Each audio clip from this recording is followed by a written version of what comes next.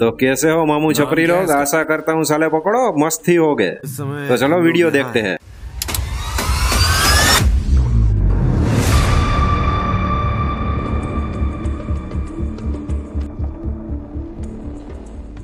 तो कहानी की शुरुआत होती है और हम एक मामू कैदी को देखते हैं जो रशिया वालों की जासूसी कर रहा था और वो रंगे हाथ पकड़ा गया था।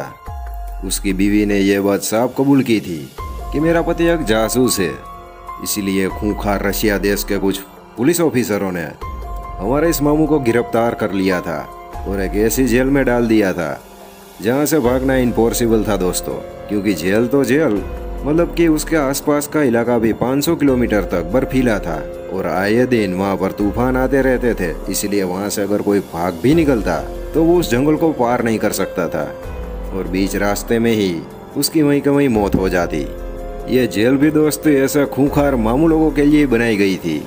इसीलिए वहाँ पर ढेर सारी कड़ी सिक्योरिटी और वहाँ पर तैनात कुत्ते मौजूद थे जो कोई भी एक हलचल पर वहीं का वहीं उस शख्स को मार डालते, जो वहाँ पर आना का नहीं करता। लेकिन जेल में हमारे इस मामू को एक बंदा मिल जाता है, जो 11 महीने और उनतीस दिन से इस जेल में कैद था। और हमारे मामू के साथ उसकी दोस्ती बहुत ही गहरी हो जाती है। अब वो दोनों प्लान करते हैं कि हमें किसी भी तरह से इस जेल से निकलना है। मतलब कि ज़िंदा रहे या ना रहे, लेकिन इस जेल में मरना तो है ही नहीं। ये बात फाइनल है। उस बूढ़े आदमी के कई दोस्त भी उसी जेल में थे। इसीलिए हमारा मामू उन सारे लोगों के कांटेक्ट में आता है और सारे लोगों को चिढ़ा देता है कि हमें इस जेल से भागना है।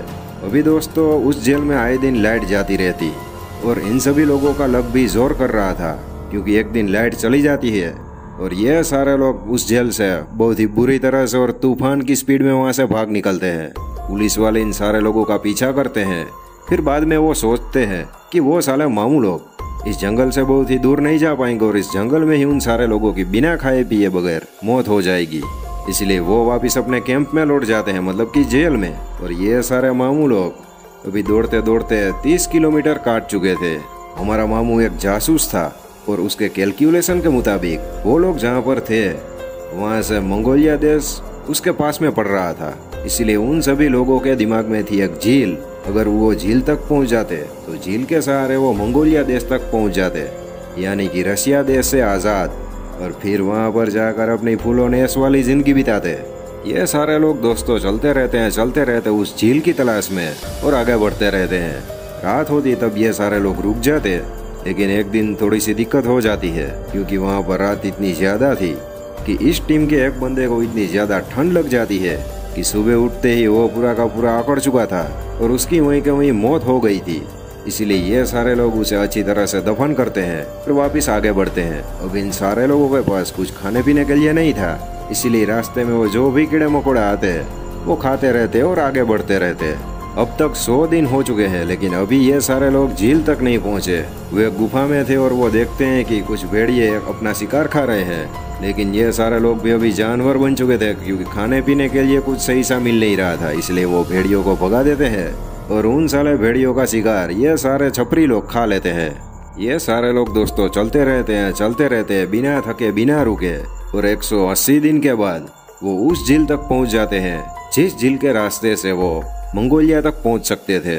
मंगोलिया तक पहुँचने के बीच रास्ते में ऐसे कई छोटे मोटे गाँव आते लेकिन ये हमारे सारे मामू लोग किसी भी गाँव में नहीं जा सकते थे, क्योंकि इन सारे लोगों पर भारी इनाम रखा हुआ था। और अगर कोई गाँव वाला सरकार को ये खबर दे देता कि ये साला मामू छपरी लोग हमारे यहाँ पर है तो इन सारे लोगों की वाट लग जाती।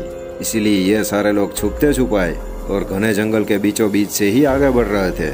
अभी दोस्तों 200 दिन बीत चुके थे। और अभी ये सारे लोग रशिया की बॉर्डर तक पहुँच चुके थे और वहाँ से मंगोलिया की बॉर्डर में जा चुके थे। वहाँ से थोड़ी आगे चलकर इन सारे लोगों के पैरों के तले की ज़मीन खिसक जाती है, क्योंकि ऊपर देखते हैं वो रशिया का मार्ग, क्योंकि रशिया ने मंगोलिया पर हमला किया था।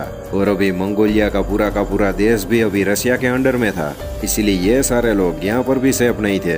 अभी ये सारे जाटू लोग ये फैसला करते हैं कि चाइना और रशिया के अच्छे संबंध है, इसलिए हम चाइना में भी नहीं जा सकते। अगर हम वहाँ पर गए तो चाइना वाले चुगली करेंगे और हमें वापिस रशिया मरने के लिए छोड़ देंगे।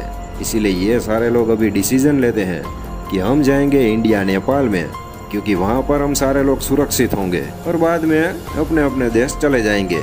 ये सारे लोग वहाँ से भी निकल जाते हैं और पहुँच जाते हैं। चाइना की बॉर्डर पर। जहाँ पर कुछ लफनरी सैनिक थे, जो इन सारे लोगों के पास आकर कुछ पूछताछ करते हैं। लेकिन ये सारे लोग ऐसा कहकर बात टाल देते हैं कि हम सभी यात्री है, हम घूमने आए थे और बिछड़ चुके हैं। अब वापस जा रहे हैं, इसलिए यहाँ पर मतलब कि टहल रहे हैं। अभी दोस्तों, मेन बात यह थी कि चाइना और इंडिया के बीच में आता बहुत बड़ा रेगिस्तान और उस बड़े रेगिस्तान को इन सारे लोगों को पार करना था। और इन सारे लोगों के पास ना ही था खाना और ना ही था पीना। लेकिन थोड़े आगे चलते चलते इन सारे लोगों पर भगवान भी मेहरबान था। इसलिए कुआँ दिखाई देता है जहाँ पर ये सारे लोग अपनी प्यास बुझाते हैं। इन सारे मामू लोगों की टीम में एक लड़की भी थी चिकनी चमेली आइटम है। अभी दोस्तों, रेगिस्तान की धूप की और गर्मी की वजह से और बिना खाए पीने के बगैर यह लड़की बेचारी वहाँ पर सेडली मर चुकी थी। सही से दफन करते और वापस निकल जाते हैं अपने सफ़र पर, जो कि था इंडिया नेपाल तक पहुँचना। अभी दोस्तों 400 दिन बीत चुके थे और ये सारे लोग अपनी मंजिल की ओर आगे बढ़ रहे थे। 400 दिन मतलब कि एक साल से भी ज़्यादा का वक्त और एक साल से इन सारे लोगों ने कुछ भी सही से नहीं खाया था। वो कीड़े मकोड़े और जो भी छोटे मोटे जानवर, सांप और वो सभी मिलते हैं वो सभी वो पका कर खा लेते।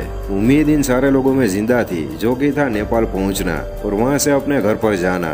इसीलिए ये सारे लोग आगे बढ़ रहे थे। अभी दोस्तों पूरे के पूरे 435 दिन हो चुके थे, उस जेल से भागने के बाद। लेकिन अभी ये सारे लोग अपनी मंजिल तक नहीं पहुँचे थे। लेकिन एक दो दिन चलते हैं और वो देखते हैं कि कुछ ठंडी हवा आ रही है। इसलिए हिमालय पर्वत, जो कि नेपाल के पास में ही है, हम उसके आसपास ही होंगे। इसलिए ये सारे लोग चलते रहते हैं। और दो दिन चलने के बाद, वो सारे लोग देखते हैं कि हिमालय आ चुका है। और हिमालय को वो साइड से पार करते हैं। जरा देखिए एक बार।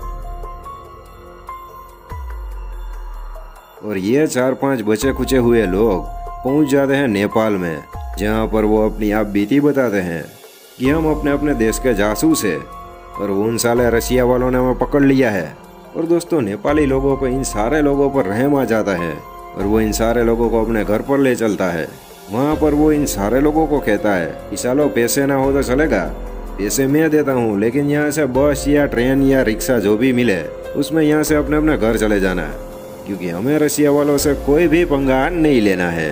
अभी ये सारे झाटू लोग ट्रेन में या रिक्शा में या किस गाड़ी में अपने अपने घर जाते हैं, वो मुझे पता नहीं है भाई लोग। क्योंकि इन सारे लोगों की मंजिल थी नेपाल तक पहुँचना, जो कि वो मैंने पहुँचा दिया है। यहाँ पर मूवी की एंडिंग हो जाती है।